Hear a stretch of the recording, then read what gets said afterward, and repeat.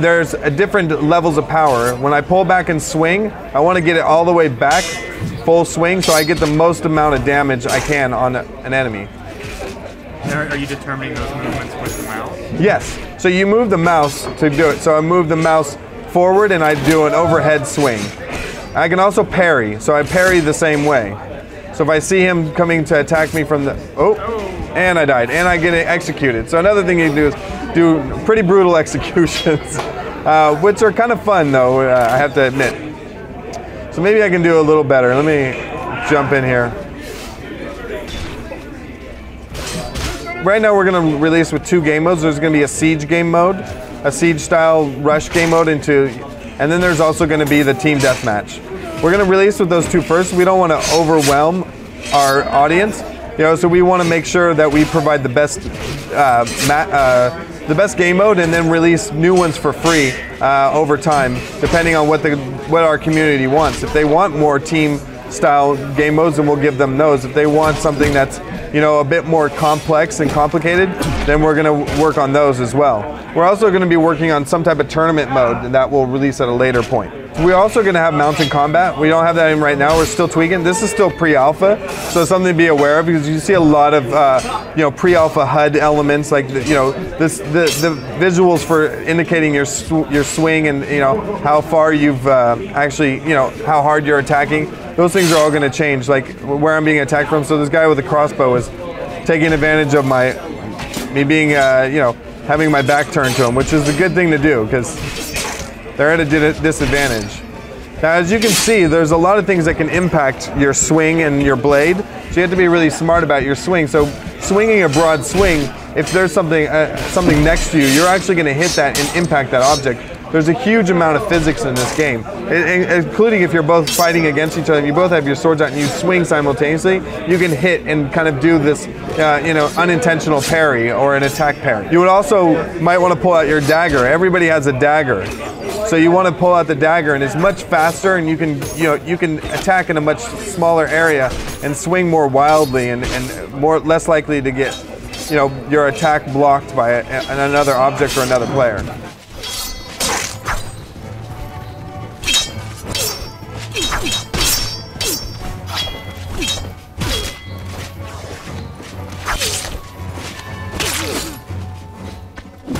Oh, I could have, uh, you can heal one of your players.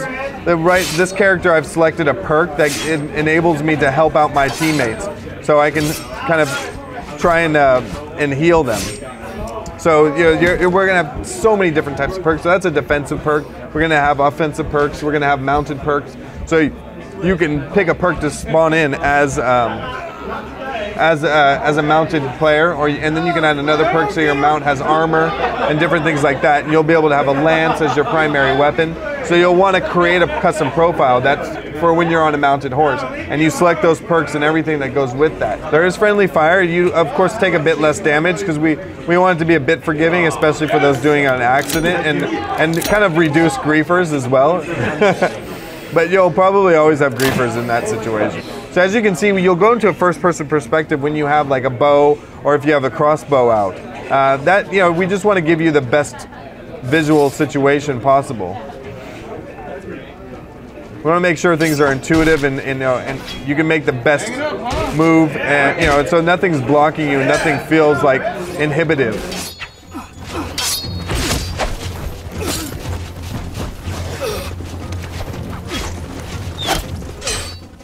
People love to run from you in this game. I've never seen a game where more people run from you. uh, he got across on the picnic table.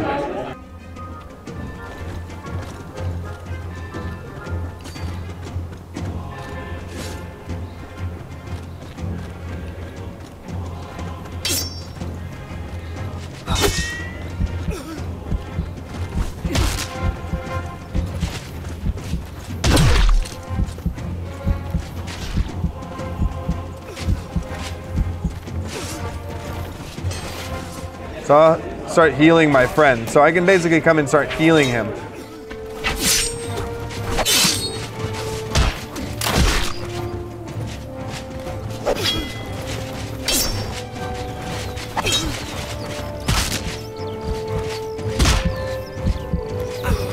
Oh, took him out of the execution. So you're not impervious uh, and during executions, and my friend revived me. and now he's being executed.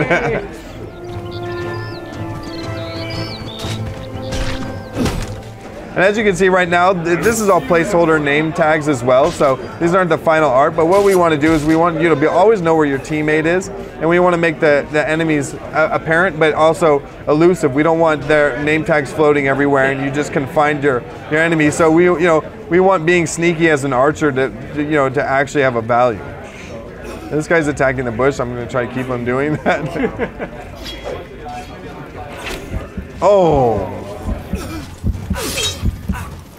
We're looking to release the, the end of summer, and it's going to be on PC first, and and then uh, coming to Mac.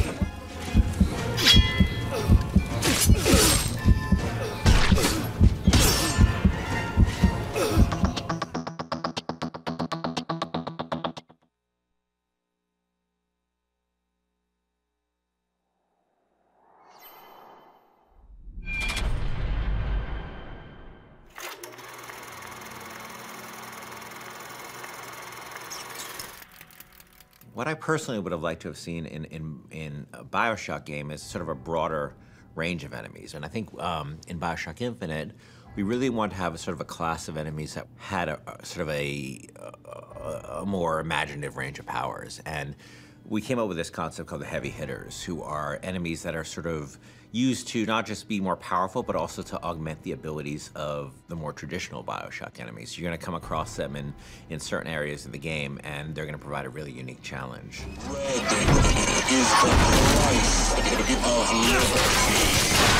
You know, we wanted a an AI that really expressed sort of the the very sort of clear system of beliefs that founders have, and, and, and a heavy hitter that would sort of represent that. And the Motorized Patriot is a um, is sort of the embodiment of that. And they came up with this idea of this creepily motorized, like Hall of Presidents animatronic George Washington. It was specifically the face, specifically this weird, like porcelain child dolls, you know, poor rendering of George Washington. That kind of clinched it. Everybody saw it and said, okay, we can we can roll with that. It's one of those rare moments where you kind of all come together and you realize, okay, this is this is going to work. We're all on the same page here. Let's just move forward with what we got. I could use a turret. On it. Booker, the gear. So the motorized Patriot, um, a couple of things make him really special besides the aesthetic of him. One is that he's, unlike most of the enemies, he's completely fearless. Um, he doesn't have a sense of self-preservation, so he'll just keep coming at you and coming at you and coming at you you know, despite the fact that you face many different kinds of enemies in this game, you clearly can't reason with this one. He's just going to keep coming forever, you know. He is sort of a clockwork Terminator. The other cool thing about him, he's got this um, Gatling gun called a Peppermill. And once you destroy the Patriot, Booker can actually um, go pick up the the Peppermill and actually use it as a heavy weapon. And that's the only place he can get it was from a, a destroyed motorized Patriot. I mean, I also like that, you know, as he starts to take serious damage, his head will, he actually loses the Washington mask and it reveals his sort of, his sort of metal skeleton underneath. The thing I like most about this guy is that I think he's pretty readable as what he does. You know, he's a fairly simple guy. He's not he's not a Swiss Army knife. He's a guy with a big gun, and I think that reads pretty well. He's got this incredible sense of heaviness. He's relentless, and just hearing sort of the, the things he's saying is both funny and kind of terrifying. But he's, you know, a deadly, deadly enemy.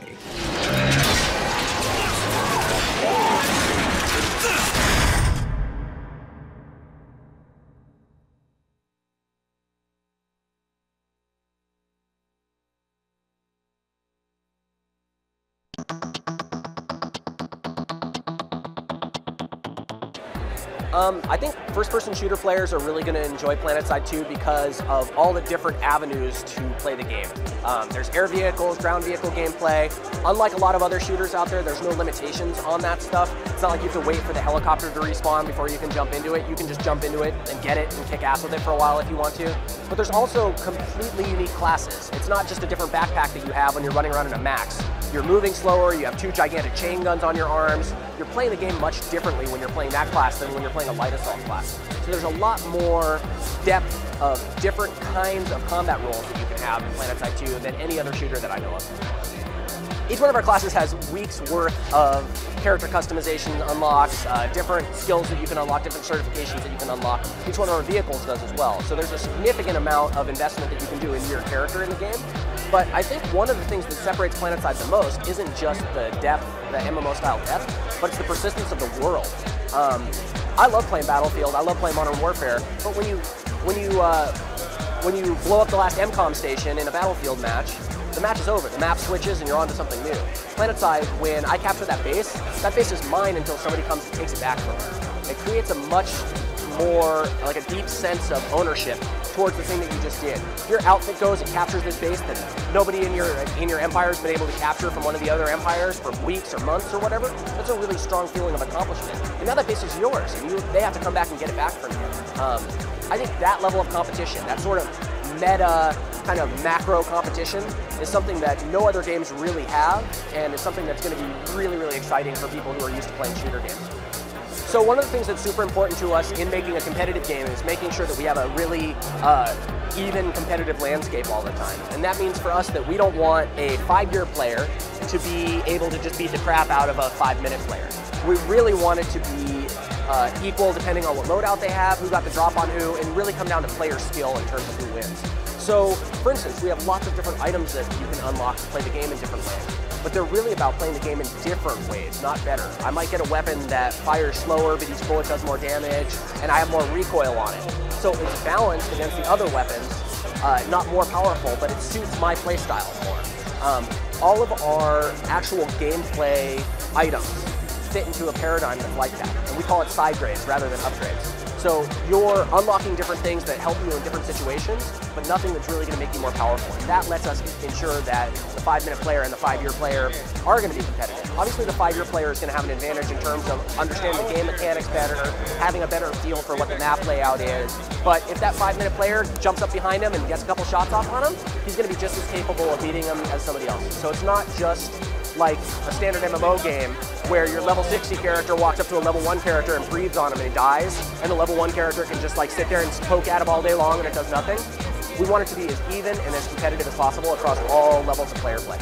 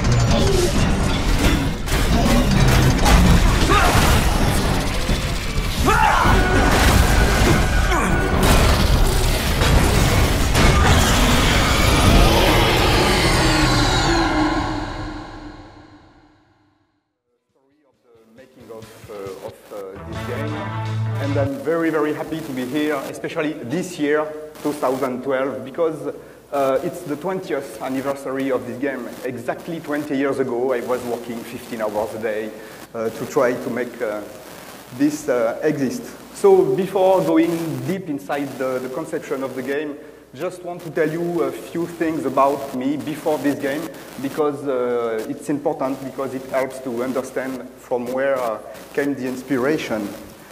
So, early 80s, my father uh, got a computer shop who was named Videomatic. Uh, it was uh, in France, I'm French. And I was helping customers with computer, repairing their computers. And uh, here I made uh, a game in uh, 88, uh, which was uh, Popcorn. It was a breakout freeware. Nothing very uh, important, but Infogrames called, saw this, this game and called me to, to work at, at Infogrames. But something which is the most important thing is that my father's shop was also a VHS movie tape rental shop. So I was working uh, days and nights uh, in this shop. So at night, uh, when I was bored uh, programming, I watched movies. I maybe watched all the movies uh, I can find uh, in the shop, and I was very, very fond of all the horror movies. I was 20 plus years old at this time, and uh, my heroes uh, were uh, uh, George Romero, Dario Argento. Uh, I loved all those uh, movies. Uh, I love zombies, and uh, something which is very interesting is the structure of that kind of movies, uh, all the 70s uh, horror movies, is that usually you are one guy or a group of guys entering a special environment and just tries to survive. Look at the, the headline of uh, Amityville. The scenario of Alone in the Dark is written on it. For God's sake, just get out. And that was the main inspiration for that. But I didn't know that uh, at, uh, at this time. I also, uh, at the, I was 20 years old, playing a lot of role-playing game also uh, with my friend at this time. And uh, especially Dungeon and Dragon, I played a little bit uh, Call of Cthulhu because actually I didn't like it. The characteristics, uh, character sheet was so huge and it was so uh, difficult. Okay, but I'll be back uh, on, um, on that later. So I joined Infogrames in uh, 99. I was doing some programming stuff, low-level function, graphical function, and everything. And one day, I was involved in the conversion of a game uh, which is uh, Alpha Waves. It was named Continuum here. We were in 90. Uh, the name of the game was The Cube uh, at this time. Christophe de Dinechin is the creator of this game. And I did the conversion, the port, from the Atari ST uh, to uh, PC. It was all ASM code. So I worked for six months on this game. And so I spent six months inside a rotating cube because it was a game. You can see it at the GDC uh, Play uh, part. There is a demonstration of uh, this game. It's a bouncing uh, shape and it's uh, the first plat 3D platform game. And so I spent six months with this rotating cube around me and ob- it obsessed me. I was always thinking, "Ah, there is something to do with, um, with 3D. And um, I didn't know yet quite exactly, but uh, my imag- imagination was very, very motivated. Say, okay, uh, we can modelize something more, more uh, better than just uh, small shapes uh, like this. And I was thinking about uh, 3D characters. And I said, okay, there is something to do with uh, 3D characters. And one day, it came quite quickly. Everything went very smoothly and logically. And uh, one day I said, I have this idea. It was my first vision of the game. I wanted to have articulated and skin 3D characters with um, first 3D zombies. I was really, really say, okay, now it's possible. I can do um, a game with uh, 3D zombies. Uh, my favorite game at this time were uh, adventure and uh, action games, so it had to be an, um, an adventure, uh, adventure game with some uh, action. I'll go deeper in that uh, later. And about how to play, because we were in the uh, early uh, 90s, uh, we couldn't manage many characters, uh, dialogues, and everything. Say, okay, it's a game, you are just alone, because uh, it was just convenient. Say, no human interaction, no dialogue, things like that. And uh, where, when can this game um, exist? Uh, the year 1920 uh, is very convenient to, because uh, uh, there is electricity, so you can have light, but uh, there is no electronic, there is no complicated stuff. So it was perfect for, for the date, uh, the place. Uh, the idea came from horror movies, an old mansion, uh, an old manor, haunted manor for the place. And the scenario, uh, just get out alive. You enter the situation, you enter the house, and you just have to exit the house um, alive. Something I knew uh, since the beginning is that uh, I needed to have some text to read because uh, to make something very scary, uh, and especially uh, back uh, in, at this time with just a few polygons, that's something that is not very uh, frightening. So I knew that I needed a text to, to put a situation, to have a very heavy background story uh, for, for the game. And so something I understood very quickly too is that um, with uh, the polygons, the number of polygons, the amount of polygon I can put in the engine at this time was not very, very uh, big. So um, I thought, I thought that um, um, I need some 3D backgrounds, but which were not made with polygons. So uh, I had the idea I can take pictures of a real mansion, an old one, and then make my 3D fits on those pictures to have those uh, 3D uh, characters uh, inside the, the game. Actually, you, if you know the game, it's not like this at the end, and uh, you'll see uh, why. Okay, so I had at Infogrames a good friend who was named Didier Chanfray, and uh, I explained him my, my vision of the game. 3D zombies uh, in a house, and you, you, are, you need to get out and fight monsters in this adventure game. And uh, Didier did this drawing. And uh, this is really the, the, the first uh, thing that was done on uh, Alone in the Dark. And this was very good inspiration. I, I kept we kept this drawing above my desk for the world development. Each time somebody was asking, uh, you are working uh, on what? Say, at this, look. Uh, and uh, actually, Infogrames uh, didn't really uh, believe in it at this time. so, for the first time of my life, because I did games for the, the, previous 10 years before, it was the first time where the amount of work seems very huge because Usually you think about the game with a few sprites and everything. You do a quick prototype in two hours to see how the game works. But I needed things that just didn't exist at this time. Uh, 3D characters, articulation, it means tools. So I started uh, my first tool. I needed a 3D modeler, but we were uh, early 90s. Uh, I never saw a professional modeler. A modeler that existed at, at this time were quite simple with those three views to edit a, a few things. So I needed mine. Say, okay, let's do um, a modeler. And as I told you, I was so obsessed by this 3D rotating cube that I decided to make my own editor. And you, in this editor, you um, edit your, your mesh, but in just one 3D view. Everything is based on this uh, rotated cube, and you can move a grid inside, inside of it, placing your points, uh, drawing lines, and, uh, and uh, polygon. The tool was in uh, EGA mode, for those who know the PC at this time. It was a high resolution mode, 640 by 350. Pixels uh, were not square. And uh, these tools allows to create the, the, the, model of the game, the object, the characters and everything. Uh, put not texture because it was uh, flat uh, polygons, but I did some kind of materials uh, on them to, to be able to have a little bit of variety uh, for them.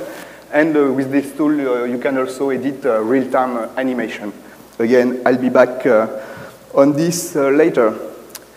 Uh, so I needed also another tool, um, a tool to be able to edit the, the, the, backgrounds, actually, to put collisions and to make fit my 3D function on the picture.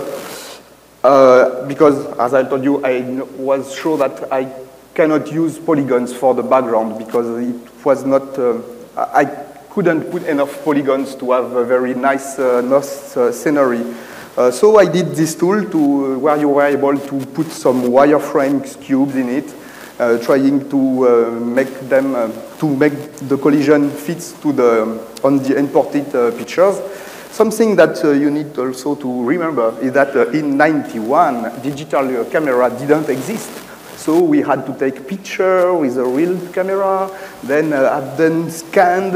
We, we had one scanner in Infogrames, so, uh, and then try to make the, my routines fit. But uh, my 3D projection system uh, uh, was very, very too simple, and with the camera and the, the, the wide angle needed to have some nice, uh, large enough view, it was really not possible with the, what I think. So, what I thought at this time, say, okay, I need hand-drawn backgrounds. And so the tool Sanedit, which was meant for put the collision on uh, real uh, pictures, actually was used to create the, the, the, the rooms of the, of the room. And uh, you see what, how it works just after. At this time at Infogrames 2, they had a Trini uh, programmer. They didn't know what to do with him. Say, okay, do you need somebody? Say, okay, great. Uh, give me uh, Franck, and uh, Franck de Girolami uh, worked on, the, on the, this tool. And uh, it will, it, will, be the, the, the, project manager of the second one. But okay, it's, it's, we are preview of that. So as you see here on the screen, that's the kind of view that uh, Senedit uh, generated. It was a wireframes cube that describing the, the, the, the, collisions and all the walls and floor of, uh, of the room. And it was not an, offici an official pro project at this time at Infogrames, so I was just working on my idea. I didn't believe in it. And so I had an idea I uh, created with this tool the first room, actually not the first room of the game, a room for, for testing.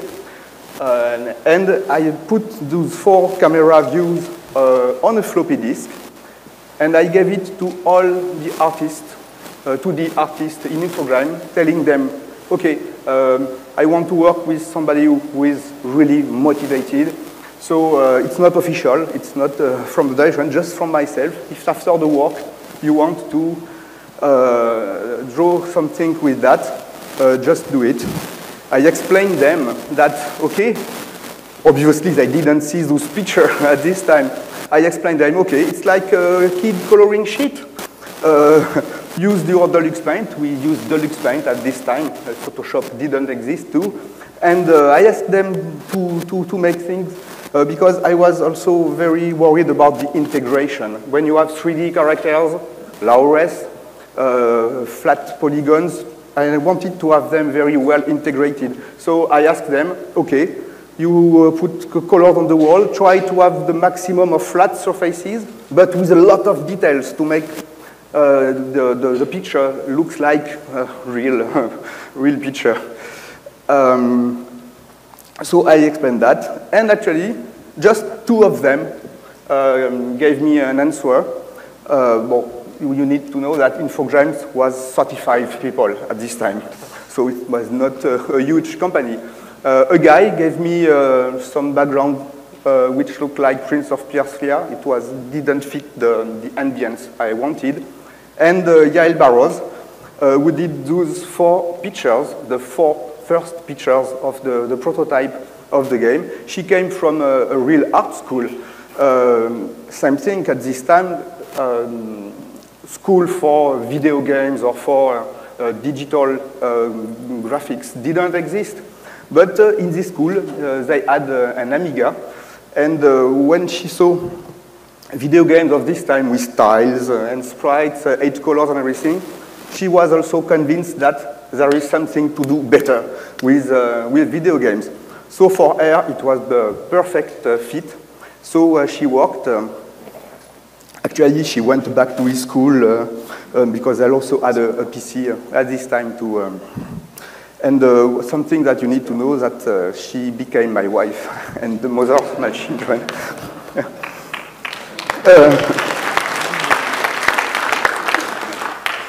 okay, so now I have 3D backgrounds with collisions. I didn't find back the wireframe of those pictures, sadly. Okay, so I started to make my first hero because I needed a hero to put in those uh, background pictures. Uh, it was called Main Zero. It was my, uh, my crash test uh, dummy. Uh, it was very, very uh, simple because I, I needed something very, very quickly to just test, can it work? And that was, um, so what you are seeing here is the first hero of, of Alone in, um, in the Dark. Made with my tools. This is the animation part of the, of the tool. Actually, this animation was never put in the game because uh, you cannot run like this uh, in, a, in a house, but uh, it allows to, uh, to edit frame. I'll be back on the, how it works uh, after because that's very important for, um, for the game. So now I have 3D backgrounds, I have a 3D hero, so let's make the first prototype of Alone in the Dark. We were in September 91, and actually uh, it works. Uh, I have a 3D character that can direct control with the keyboard. The interface of the PC game at this time were just keyboard driven.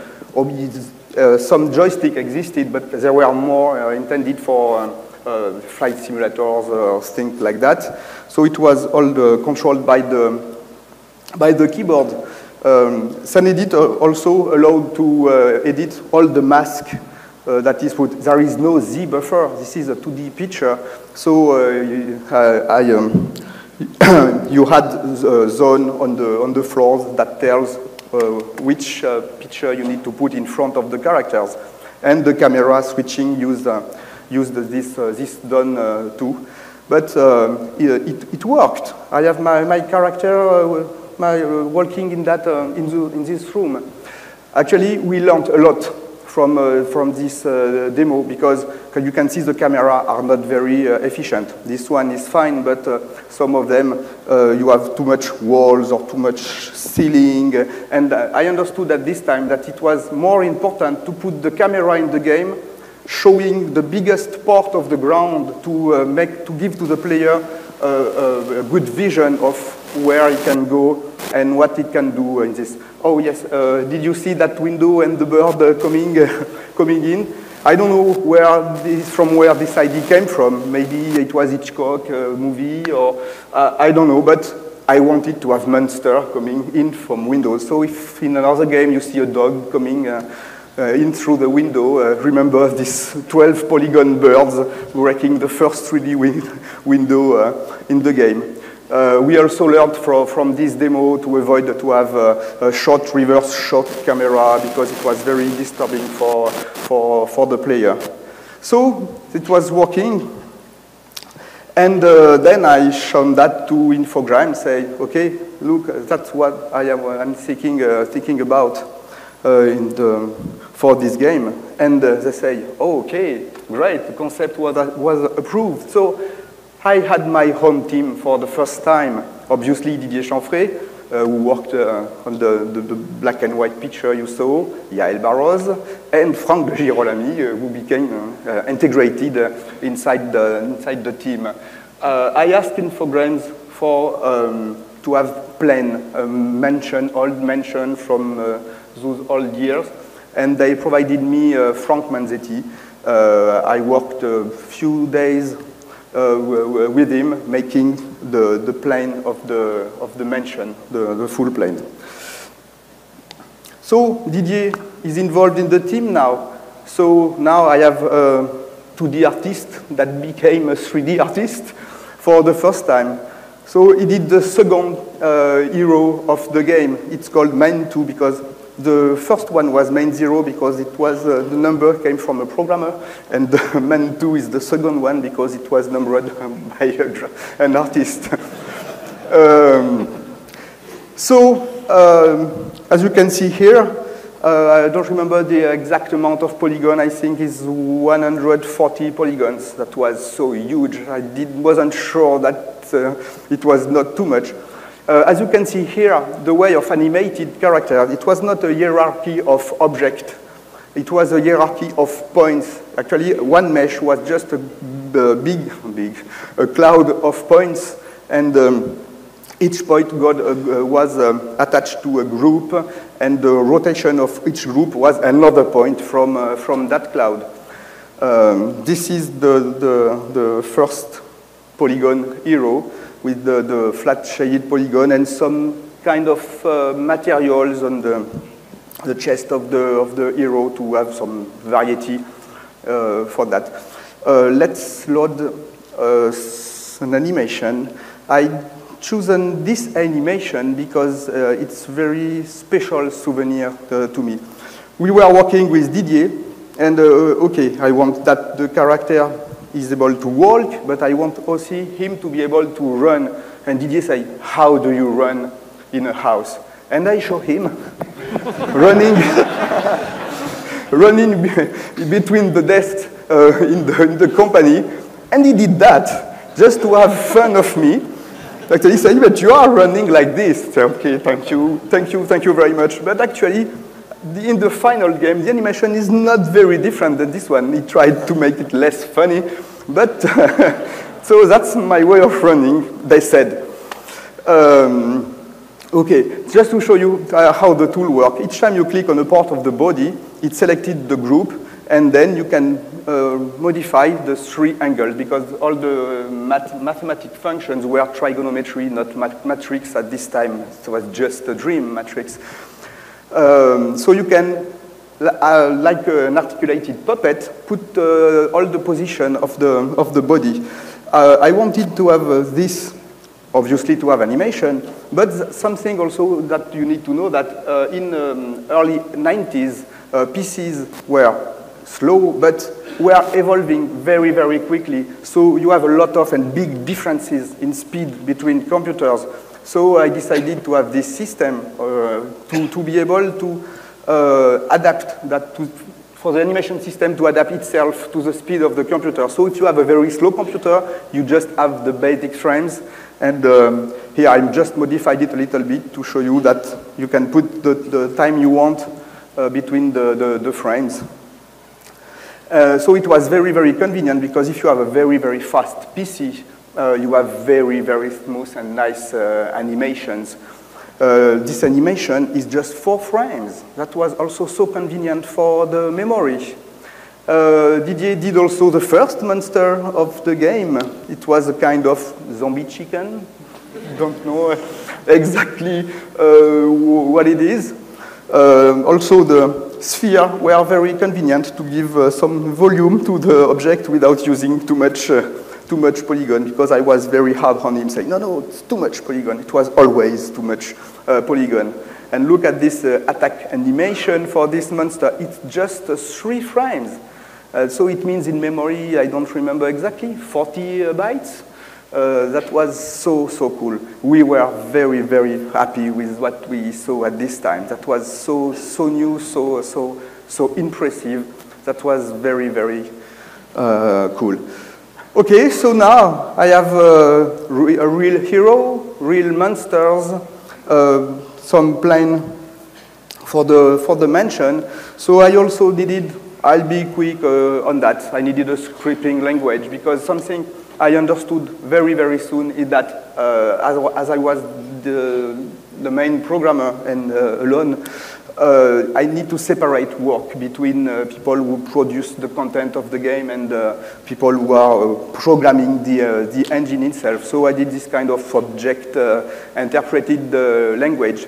But it helps me also to understand something. With uh, 3desk, Senedit, and my scripting language, I understood that if you do uh, for a game, and it's still true nowadays, uh, dedicated tools, uh, it's very, very uh, efficient because it helps, uh, because the, it, it keeps the direction, because every artist working on the game, you give them the maximum freedom, but inside the constraint you want and inside the direction you want.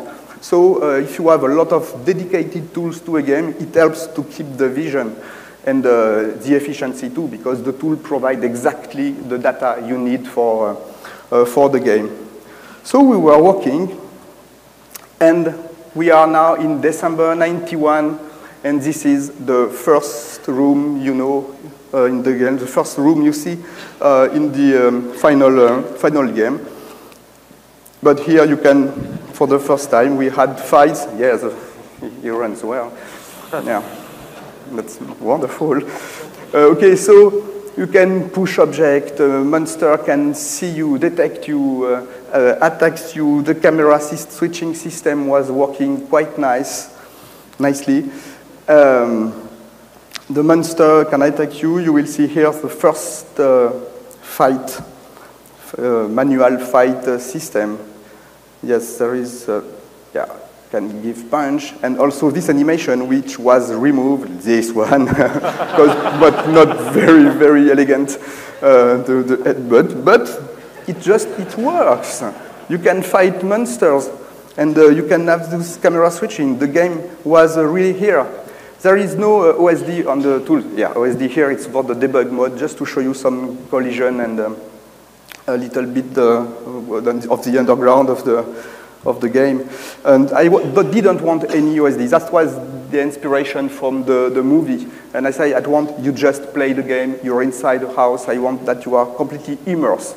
Uh, your life points and uh, inventory system uh, was another screen, uh, but when you play, you just have the, the 3D uh, vision of the, of the game.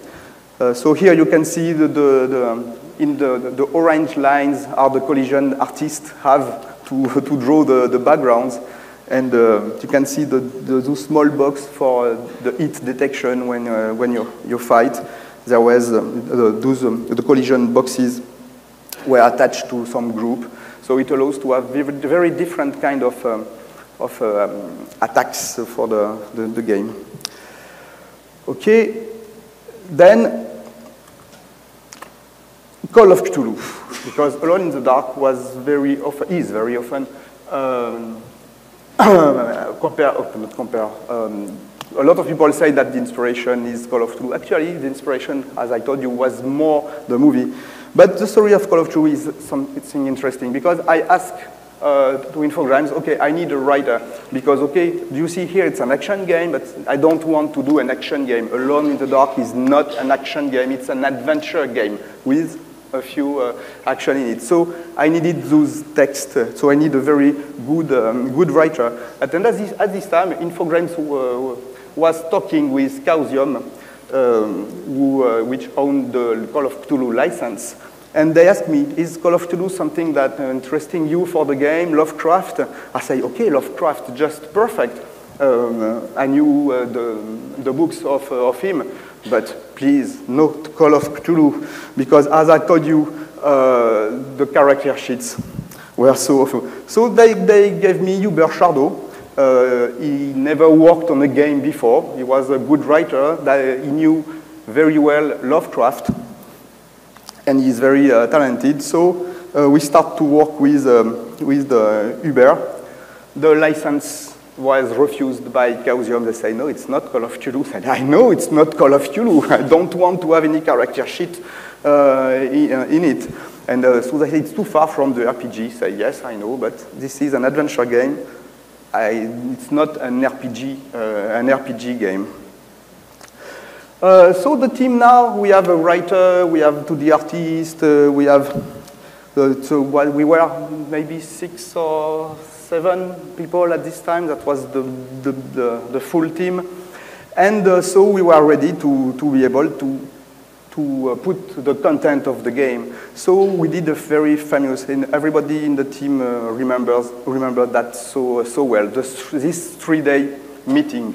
the whole team was in the same room. We ate a lot of pizza. And um, I, I, did it as a game master. Say, okay, because I knew I, have, I had the, the, the plan of the mansion. Uh, I knew what kind of action, what kind of puzzle things I wanted in the game. So um, I, I, played it as a game master with them. Say, okay, we are in the attic. I want to start, uh, to start the game in the attic because you need to go out of the game. So I asked Hubert, find me something to explain why you start in the attic. And it was the same way of working each time. Okay, now we have this monster. Uh, okay, you cannot kill him uh, with your hands or with a gun. You need to find this statuette or this special, uh, special knife. Right uh, in this book you find here, you need to put this clue of uh, the way of passing this monster or this, um, this part of the game. So everybody of the team takes note, took note about what they have to do, all the list of all animation, all monsters, all books uh, that need to be written, and everything. So after those three days, we had the whole red thread of the game from the start to, to, uh, to the end of the game. everybody uh, knew what they have to do for the few months that um, still uh, needed to, uh, to, uh, to make the game advance.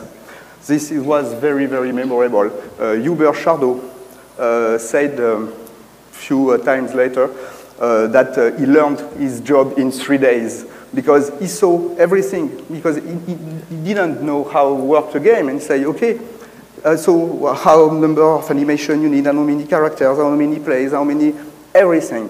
Three days for the, the whole game. Uh, the production team ground up uh, a bit too because the uh, total amount of um, background in the game of um, 3D camera views was 170 uh, views. It was too much for just one artist. So Jean-Marc Torroella uh, and Frédéric Bourgin um, joined the team. Jean-Marc did almost all the caves under the, the ground. And Philippe Vachey also came us for the music.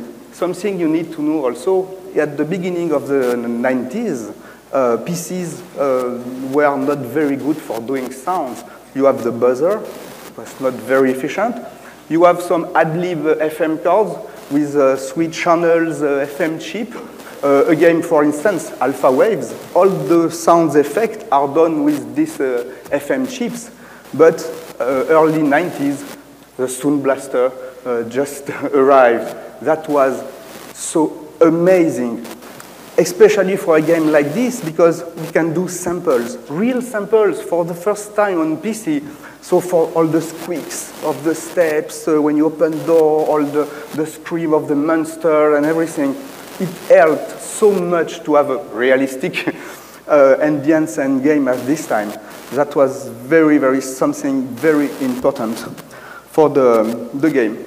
Okay, let me just do a quick step to the end of the game because there is something quite funny that happened. I don't know if you noticed in all the videos and pictures you saw um, uh, for now, is that all the, the characters you saw just have a sphere for the head.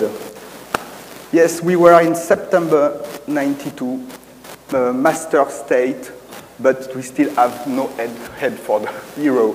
Because since the beginning, I, I told Didier when he, uh, he um, created the, the characters and Monster Hunter 6, I, I will have a voxel head system. You see, it will be just marvelous with a lot of details for, for the head. We can have animation on heads and everything, but I never had the time to, to do it. So he said, oh, we need something. Didier said, okay, let me take care of that. And he did, he did 3D uh, polygons, uh, polygons for, for the, the head. That's why in the game, the head is very, very static. There is not a lot of animation because all the animation were done. So it was just quickly try to uh, reparse all the animation to add little movement for the head, but uh, we were very quite, quite late. And where this is very funny, this is that those in April 92, Infogrames asked me, we need visuals for the communication. Say, oh, you need visuals, but I have no head. Okay, never mind. Didier and Yael drawn some with Photoshop, uh, sorry, Deluxe Paint, uh, and drawn head on the screenshot of, of the game. And that's very funny because if you still look on the first box of the game, the pictures at the end of the box are those pictures with a fake head on it. And even in the game, in the main menu, if you don't touch a key, uh, you go to a slideshow, and the picture in the slideshow are those pictures too. So they are not the same in the game. That's didn't have time or forget to, to modify those, uh, those pictures. Okay, so let's back to the game itself too, because why this game uh, was the first name, the first, it was later actually, first survival horror because I, have, uh, I had a lot of ideas about how to, to scare the player.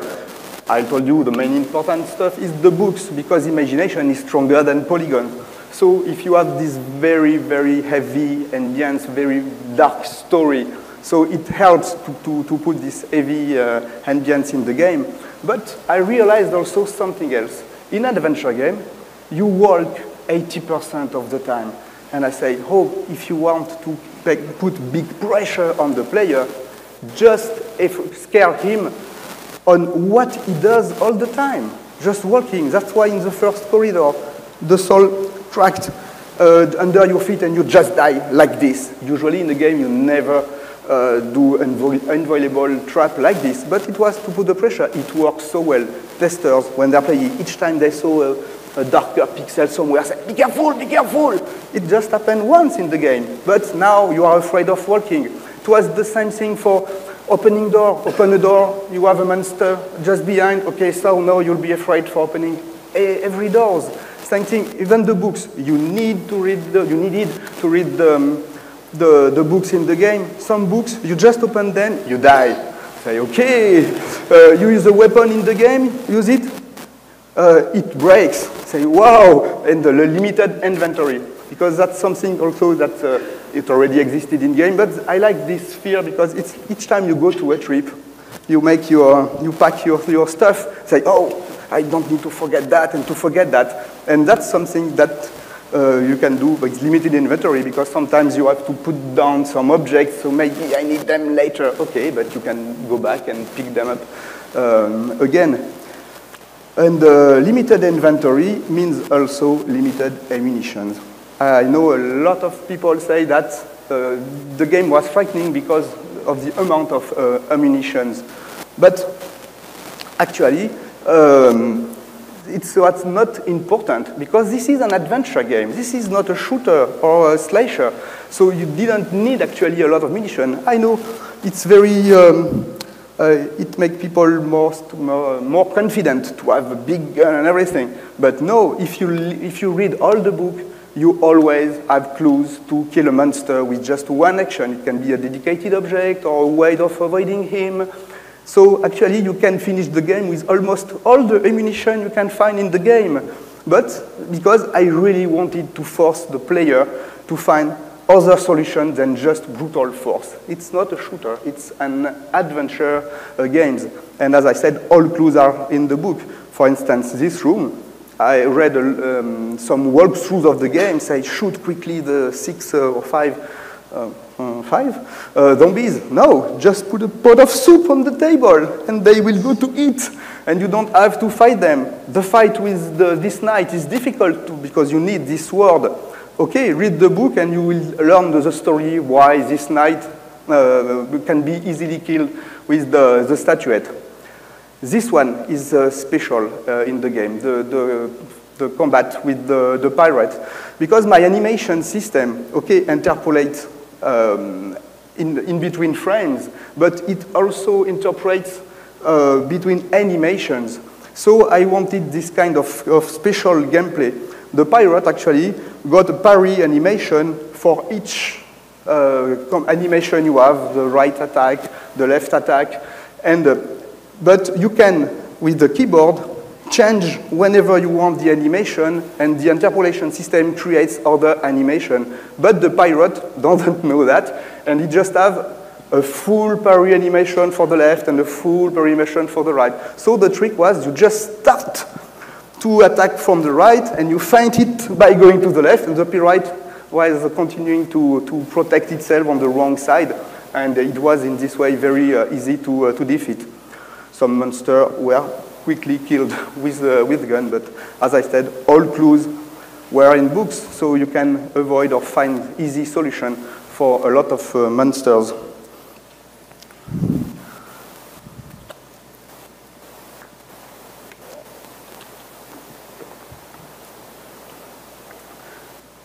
Let's just have a look at some underground fights.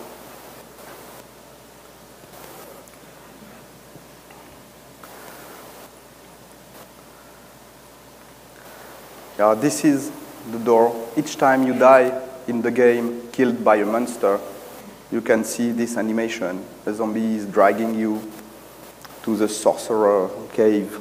You can see quite often this animation uh, while playing. And it's something funny too, you will see just after why.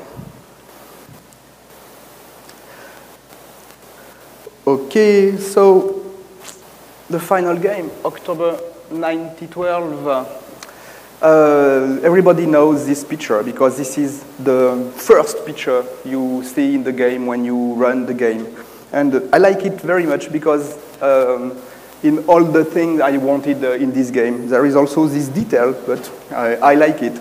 You see the lamp at the bottom of the screen, the petrol lamp. And actually, this object is the one that is used at the end to kill the sorcerer. I just like this idea that the first object is the one you need to finish, uh, uh, finish the, um, the, game. And uh, I have a confession actually to do. In October 92, I hated this game.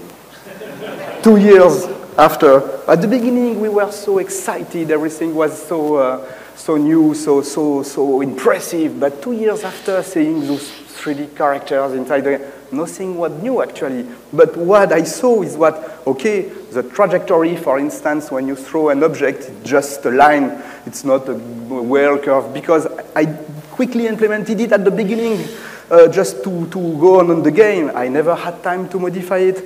And there is in the game, I can tell all of them, all the details in the game. I say, wow, this is so bad done. Uh, and especially one thing I hated is that when the characters open the door, you have the camera on the side, but, and you cannot see the corridor or the room just in front of him. But the character itself just see what he's looking at. So you are afraid to go forward, but the characters, he sees if there is something or not. Okay, but let me just read something from Lovecraft. Uh, Lovecraft said, the oldest and strongest emotion of mankind is fear, and the oldest and strongest kind of fear is the fear of the unknown. So, okay, so it's fine, huh? you can't see what's happening, so let's be afraid with that. But I really, really thought that people will laugh at me. Say, okay, your game is so stupid. That was really something I, yeah, it was the end of the game. Everybody was really, really tired and everything, and I was really afraid the, what happened to the game uh, obviously made me change my mind. But uh, that was really, uh, really true this time. Uh, so we are almost done. Let me just show you not the introduction of the game because I think most of you have seen it, but let me show you the final uh, sequence uh, of the game and the end of the game.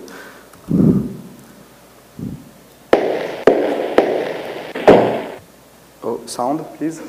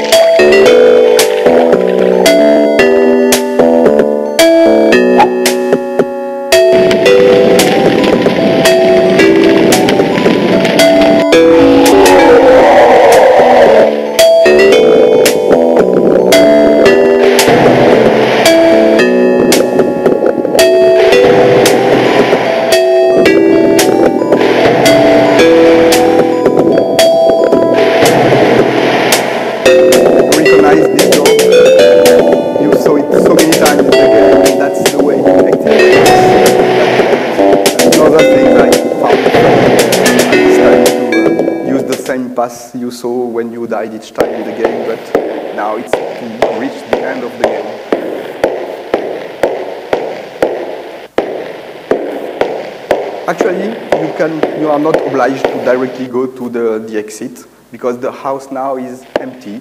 All the monsters died with the sorcerer. And so you can just go back in the house to visit all the rooms uh, with no monster in it. But uh, generally the testers just wanted to get out. Say, okay.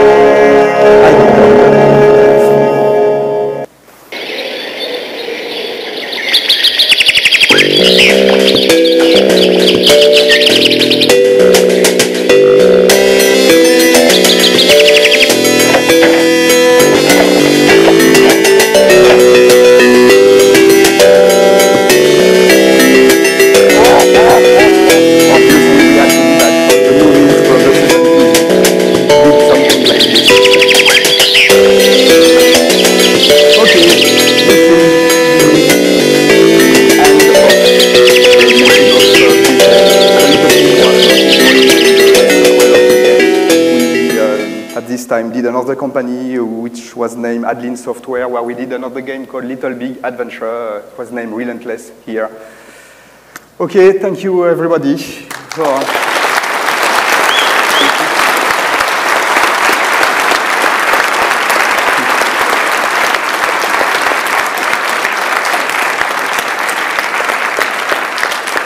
Uh, okay, for the question, I want to ask to a good friend of mine, uh, Vincent, to join me just to be sure I understand well your question. Okay, if you have any question, please ask. Any question?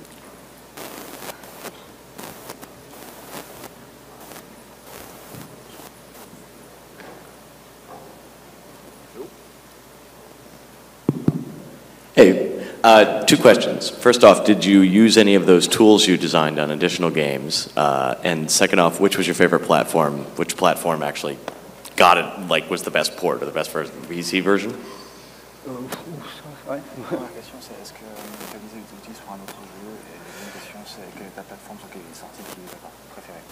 Uh, okay, so for the tools, actually, uh, no, they uh, uh, belonged, belonged, belong to Infogrames. They use them for uh, Alone in the Dark 2 and Alone in the Dark 3, but uh, I didn't use them.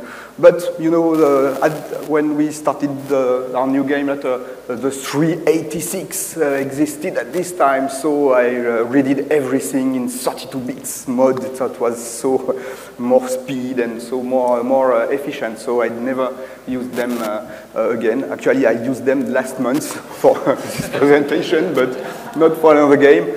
And my best platform is the, I'm obliged to say the, the PC, because uh, when I discovered the PC in uh, 87, 88, uh, I really felt in love with this, uh, with this machine. And uh, so I really prefer the PC. But uh, the, the ports are usually very, very well done, and, and it's very, very nice to see.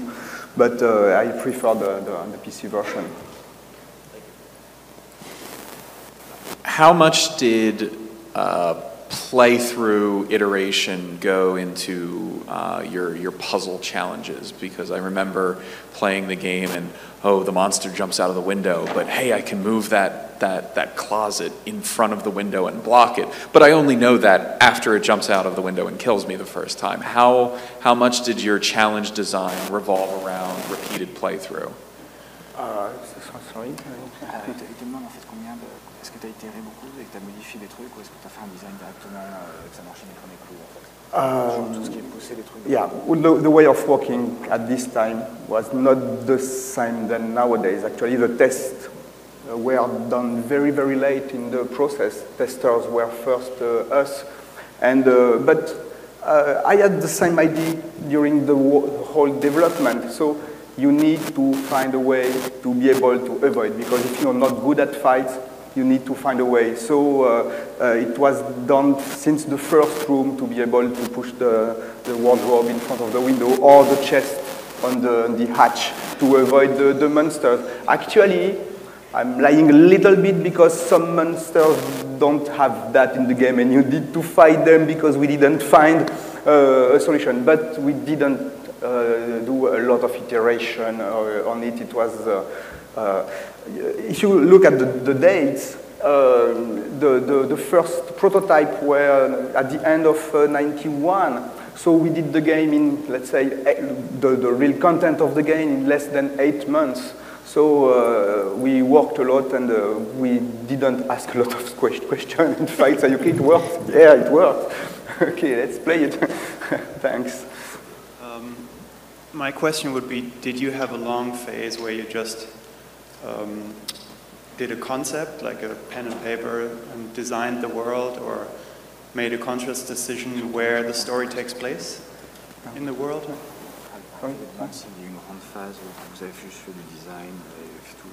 Base. Uh, yeah, uh, yeah, I, I, I told you that the, the three days meeting. Three days, This is really, yeah, this is three days. We did the whole, the whole game. After, obviously, when um, uh, Franck de Girolami, for instance, was involved in SceneEdit, but also in the, in the scripting uh, of the game. So each time we test, but we just, sorry, we just test, uh, test ourselves, say, okay, it works, it was like the, the, the, the idea from those three days and say, okay, uh, let's, let's so have the whole like floor this. plan of the house was everything, everything in three days. Yes, uh, we modified a lot. Actually, the, the, the mentioned plan was modified during the season because sometimes I, oh, uh, for instance, I wanted to start at the attic and the exit were on the first floor, but I wanted to have some surprise, like the whole the cave is under the house. So actually, when you reach the first ground, it's not the end of the game. You have all the part uh, out, under the house and then you need to come back to, uh, but it was done in those three days, and sometimes I, oh, yeah, but this door is not convenient, I prefer that we go here before, so let's move a little bit the, the walls in it. But uh, nothing was really modified after those, uh, those three days, except when really something was not working, but not the plane. The big stuff didn't change uh, after that. we were lucky, I think, very lucky. Okay, uh, two questions. Uh, the first one is, uh, what do you think of all the survival horrors that came out after Alone in the Dark, like, you know, uh, Resident Evil and Silent Hill? And the second one is, I don't know who owns the rights for Alone in the Dark now, but has someone ever considered making an HD remake of this game for some platform? I would love an HD remake one day, and I hope it will happen one day. But I think Infogrames, uh, all the right. I'm not sure uh, about that. I don't know. Uh, and about the games, the evolution of the game. as I told you, I wanted an adventure game okay, with action, there are a lot of action uh, actually uh, in the game, but that was the spirit of the game was really adventure. So uh, actually I wasn't very happy with what they did on the sequels of the game. Games in the same ambient spirit uh, that I prefer. It's more Silent Hill or um, recently uh, Alan, Alan, Wake, which is closer to, to this kind of uh, the, the spirit I wanted for the game at this time. Okay, thank you. Um, just one question for me. Something I never really understood is uh, why there is a, at the beginning of the game you have the choice to choose between a male character, female character, with different storyline. And did you really expect in 92 female playing this kind of game? Okay, I forgot to say it actually. Merci Alexi. Alexi was one of the testers of the first Alone in the Dark. Yeah. yes, thank you Alexi. I forgot to, uh, to, uh, to say it. I was very naive uh, at this time and I believe that if I put a female, female character in the game, a woman will, will want to, uh, uh, would have want, uh, wanted to play the game I was very naive about that. And also something I, did, I, I forgot to say when you saw the animation with the girl, I uh, thought that uh, I can put the same animation for the male character than for the female uh, character, but it's not true. All the animation were redone. And something I also wanted at the beginning is that the story for the uh, things you have to do, not just the story, things you have to do for the female character, uh, to have something different for, for her. But same thing, we didn't have time to, to that. So the story is sadly exactly the same for both uh, characters. Hi, uh, I must tell you first I really admire this game. It, it really scared me when I was very young. And I, I didn't hear anything about sound, and I remember really afraid of the steps. In, so when did you put the sound in the game? At what moment did it come in the project? Was it really late in the project, or you always planned that sound?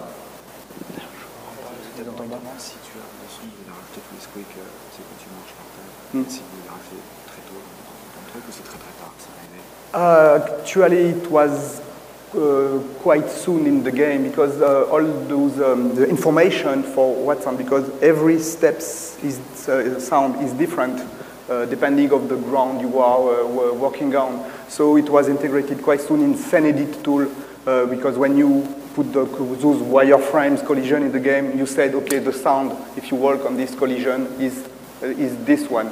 So that was something uh, integrated uh, quite, quite uh, soon in the game. Not really at the beginning because the, the sound artist didn't, wasn't here at the, at the real beginning, but it was very, very soon because um, since this, this three days meeting, all the sounds were listed during those three days too. So uh, after that, he had the list of everything uh, to put uh, in the game. So it was done, yeah, let's say in the first quarter of the, of the development. Okay, thanks. Thank you. Okay, thank you everybody. Thank you very much for coming. Hein Parlez quoi, nous When I was a little boy, I had. Thank you.